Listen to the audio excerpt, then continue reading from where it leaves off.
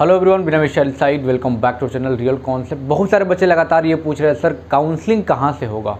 कब से होगा? और क्या उसका कुछ चार्ज भी लगने वाला है?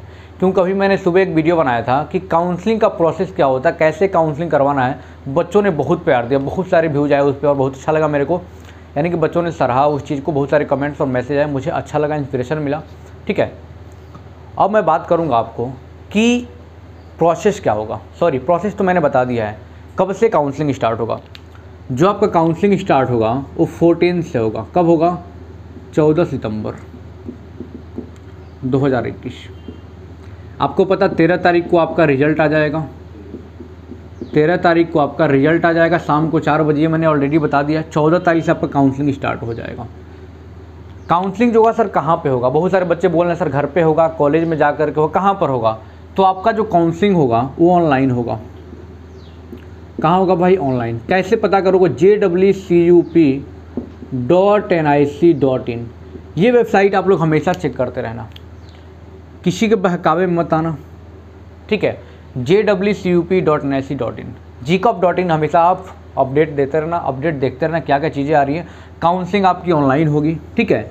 बहुत सारे बच्चे परेशान, सर कॉलेज में जाना पड़ेगा क्या? घर से होगा क्या? कैसे होगा? यानी काउंसलिंग जो होगा, आपका काउंसलिंग क्या होगा? ऑनलाइन होगा।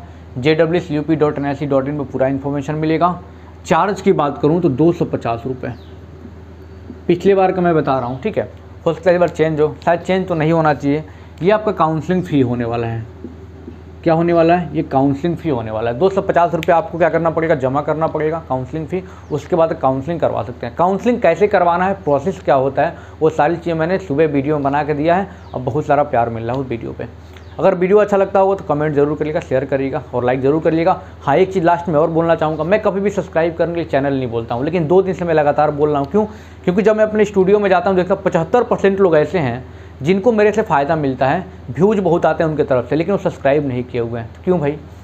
नुकसान आपका है। एक भी अपडेट अगर आपको नहीं मिला, गलत जानकारी आपको मिल गई तो आपको गवर्नमेंट कॉलेज नहीं मिलेगा। मैं क्या बता रहा हूँ? एक एक स्टेप मैं आपको बता रहा हूँ कैसे काउंसलिंग करवाना है, कैसे कॉलेज में जाना है, सारा अपडेट मैं दे रहा हूँ। अगर एक भी एक भी वीडियो अगर मिस कर देते हो आप तो आपको दिक्कत हो जाएगी। चैनल को सब्सक्राइब कर रखना बेलाइकन दबा कर रखना, एक भी अपडेट मिस मत करना। Thank you so much